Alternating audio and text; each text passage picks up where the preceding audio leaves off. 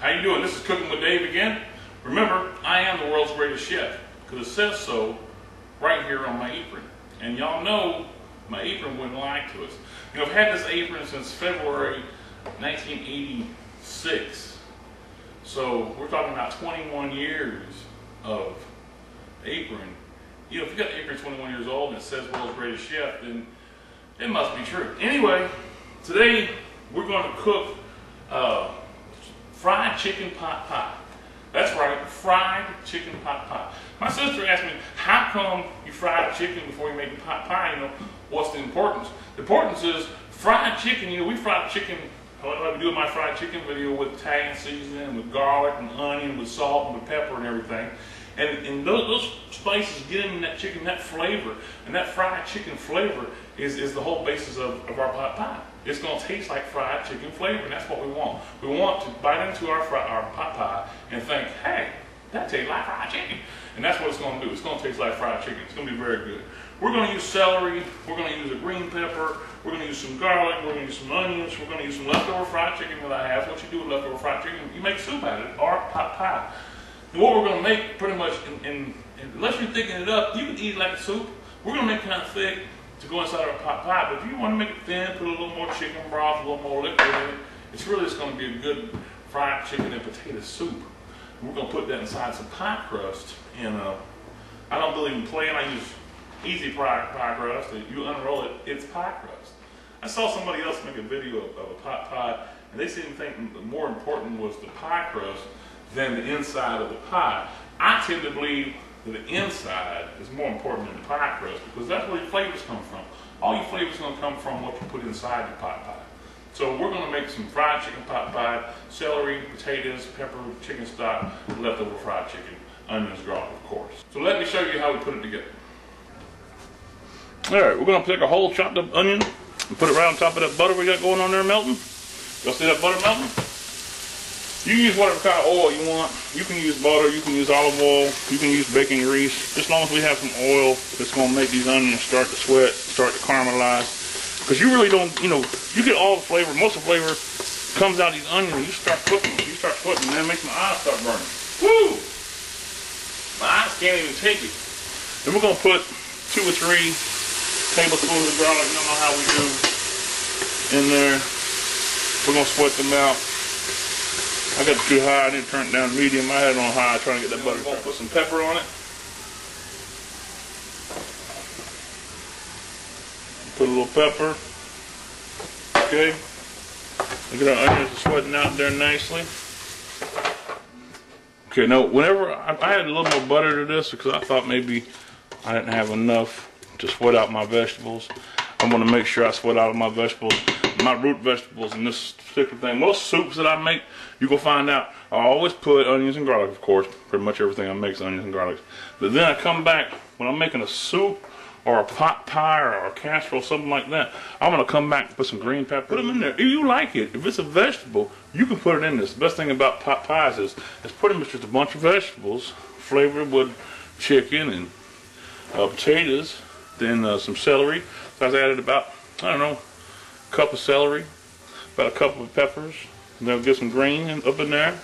And remember, I just added a little more butter because I think I had enough. I want to make sure I sweat all these out nice and good.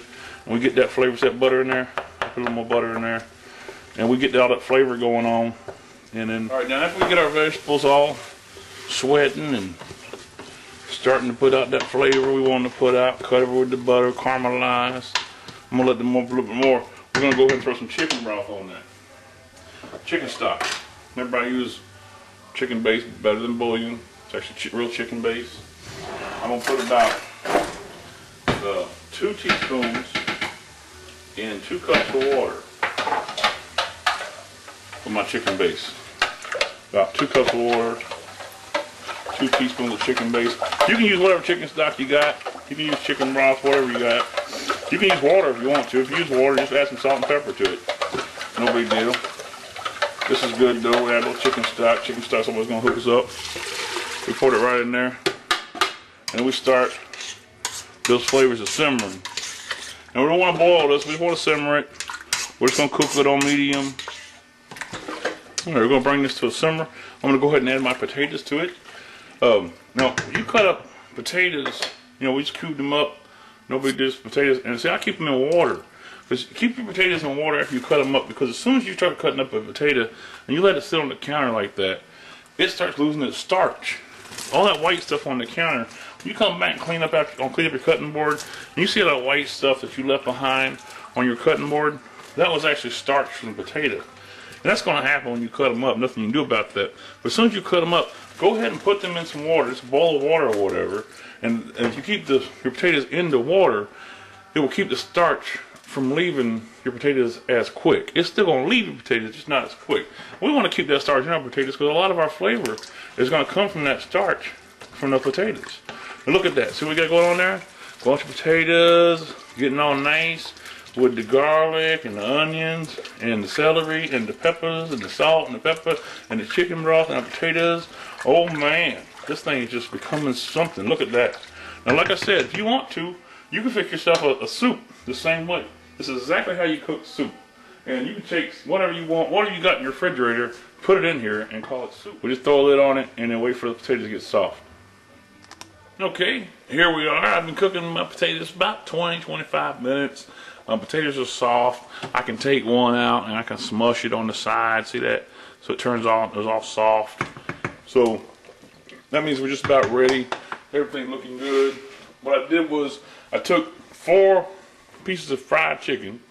They were just bone, uh, they had bone in them. They were skinless breasts. And I took the bone out, know, deboned all the chicken, leftover fried chicken. And I'm just going to put it straight into my pot pie filling. Ba-boom. And like I said, you can make a soup like this if you wanted to. This could be soup. I would just not make it as thick. I'm going to make it thick because I like a thick pie filling. So we're going to make it nice and thick for our pie filling. And I always cook too much of this, so I probably will have it left over. Now I forgot earlier to put my carrots in. That's okay because I'm using canned carrots and canned carrots pretty much already cooked. So I can put them in right now along with my chicken. Boom, boom. Canned carrots. Put there with the chicken and with the celery and with the peppers and the onions and the garlic. See that? Now we have some color for our pot pot. And to me, that's pretty much all the carrots are. Pretty much color. Because I don't really care for a carrot. But you know, once you put it inside this, pretty much all going to taste the same. It's all going to taste like our mixture here. It's going to taste like our pot pie insides. Which, ooh, they look at yummy. I think I'm going to try them. I can make sure that they are up to speed. But what I'll do now is I'll simmer this um, for about another 15 minutes. Let it come together with that fried chicken. Let the flavor start getting throughout everything. All comes as one. And thicken up. I want it to be pretty thick inside of our pie. Okay, here we are back at our inside. Let's take a look at it. See what it looks like. Oh, it looks wonderful. Look at that. Oh, man. I might have to dip some of this up and just eat it like a soup. I'm telling, look at that. Mmm. It's just chicken soup. That's all that is right there. Chicken soup.